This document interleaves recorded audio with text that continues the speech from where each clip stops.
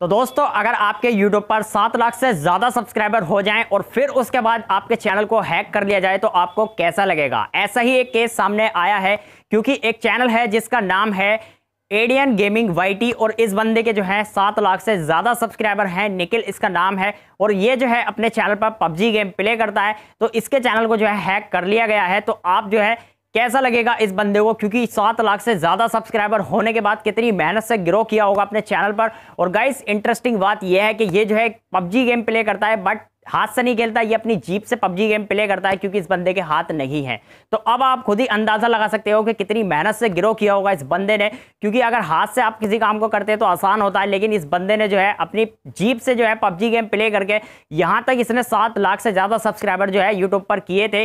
और इसका चैनल बिल्कुल अच्छे से चल रहा था। लेकिन इसके बाद क्या हुआ कि जैसे ही इस बंदे ने एक दिन लाइव स्ट्रीम किया, उसके बाद जो है लाइव स्ट्रीम करने के बाद इस बंदे को जो है सेवन फेक स्ट्राइक मिली और उसके बाद जो है किसी ने इसके चैनल को जो है वो हैक कर लिया है। तो अब गाइस ये जो है काफ़ी ज़्यादा परेशान हो चुके हैं, क्योंकि भाई अगर आपके यूट्यूब पर एक लाख सब्सक्राइबर भी हो जाते हैं और आपके चैनल को हैक कर लिया जाता है तो आप जो है खुद ही अंदाज़ा लगा सकते हो अपने ऊपर सोचकर कि आपको कैसा लगेगा। तो आप जो है इस बंदे का वीडियो मैं आपको दिखाता हूँ कि किस तरीके से इनके चैनल को हैक किया गया और आप ऐसे गलती करना वरना आपके भी चैनल को हैक किया जा सकता है। तो आप पहले इस बंदे का ये वाला वीडियो देखिए जो इसने बताया वीडियो में। उसने पता नहीं क्या वीडियो का लाइव स्ट्रीम किया।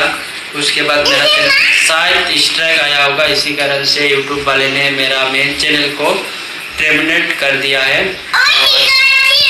सुबह का बात है।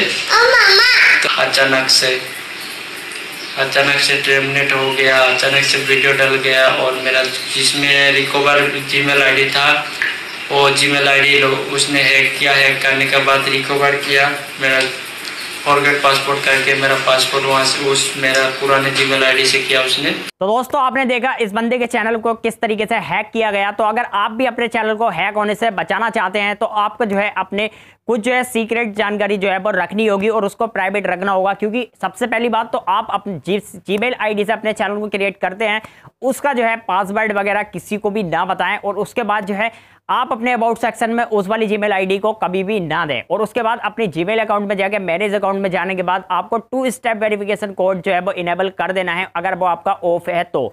क्योंकि अब जो है काफ़ी ज़्यादा हैकर आ गए हैं और वो जो है इसी चीज़ को निशाना बनाते हैं, क्योंकि जैसे ही आपके सब्सक्राइबर और व्यूज़ आना शुरू हो जाते हैं तो आपको स्पॉन्सरशिप के लिए जो है कॉल आने शुरू हो जाते हैं और आपको काफ़ी सारी कंपनियाँ फेक कंपनियाँ जो हैं, वो आपको स्पॉन्सरशिप के लिए लालच देती हैं और इस तरीके से आपके चैनल को हैक कर लिया जाता है। तो अगर आप अपनी मेहनत को बचाना चाहते हैं तो आपको जो है ये कुछ स्टेप फॉलो करने होंगे, क्योंकि सबसे पहले आपको अपनी जीमेल आईडी को सेव रखना होगा और आप अपनी जीमेल आईडी का पासवर्ड अपने मोबाइल में भी उसको मत रखिए सेव करके, क्योंकि किसी जगह आप उसको लिख कर रखिए। क्योंकि अगर आपके मोबाइल को भी कभी हैक कर लिया जाता है तो सारी डिटेल आप हैकर के पास पहुँच जाती है और वो आपके पासवर्ड को डालकर पासवर्ड फॉरगेट कर सकता है। इसलिए आप जो अपने मोबाइल में भी सेव करके ना रखें, किसी अलग जगह उसको लिख कर रख लें। सो गाइस अगर ये वीडियो आपको पसंद आया तो इसे लाइक कीजिए और अगर चैनल पर नया तो सब्सक्राइब कर दीजिए। तो चलिए मिलते हैं किसी और इंटरेस्टिंग वीडियो के साथ। जब तक के लिए thank you so much thanks for watching